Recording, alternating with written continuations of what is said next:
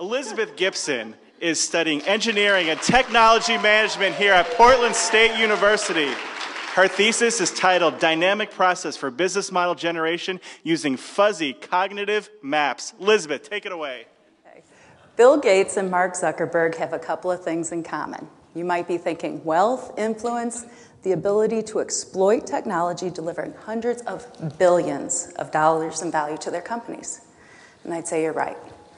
But did you also know they weren't the first to market?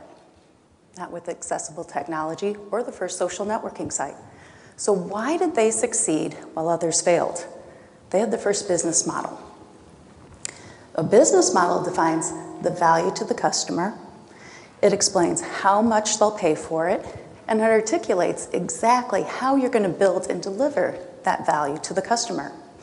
It takes art and skill, time and resources, and research says that most companies change their business models three or four times on the way to profitability.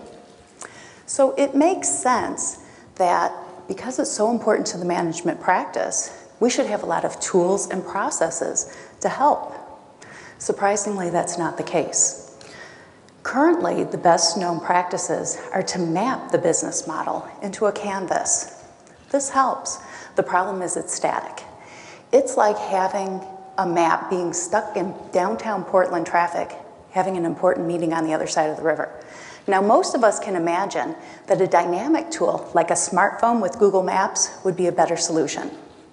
My point is, technology is moving so fast that a static map quickly becomes obsolete.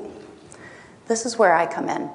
My research has been looking at methods and models to bridge that gap between mapping and modeling, creating a dynamic process for business model generation. And what we found is a mathematical modeling approach based on neural network theory that links those elements of the business model together in cause and effect relationships. This method is called fuzzy cognitive maps. What we can do is we can build a model now and we can run what if scenarios. We can also take data from our market experimentation, put it back into the model, grounding our learning. It's like being able to tweak the criteria and tune it, finding the sweet spot of the customer value.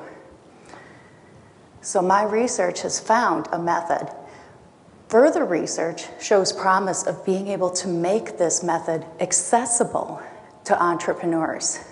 What's really exciting for me is now, maybe the first entrepreneurs that come out with the technology armed with a dynamic tool set can also be the first ones to get their business model right.